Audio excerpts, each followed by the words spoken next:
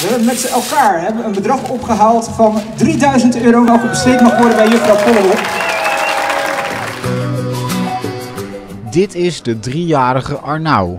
Hij heeft kanker en ondanks deze ziekte verzamelt hij geld in voor het goede doel. Namelijk speelgoed voor de afdeling waar hij behandeld wordt in het Prinses Maxima Centrum in Utrecht. Onze kleine man die gaat er al een tijdje mee om met, uh, met zijn ziekte.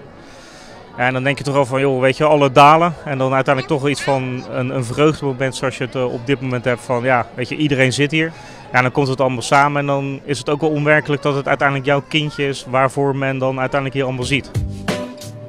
Bakkerij Nobels Brood heeft de ontbijttafel georganiseerd om de kleine Arnau te helpen. 750 mensen hebben gezamenlijk ontbeten in het centrum van Dordrecht. Ja, hoeveel broodjes hebben jullie wel niet gebakken voor dit evenement? Heel, heel, heel erg veel. Ik denk wel 200 zuurdesembroden, 200 krentenbroden, 800 croissantjes, 800 beignets. Nou, dat vond mij zo bijzonder dat hij dus ondanks de ziekte toch ook nog zoveel wil doen voor, ook voor andere kinderen. Dat we hem graag uh, wilden steunen. We hebben croissantjes en brood en krentenweggen en uh, beignets zijn er met uh, jam en kaas. Wat niet eigenlijk. Koffie?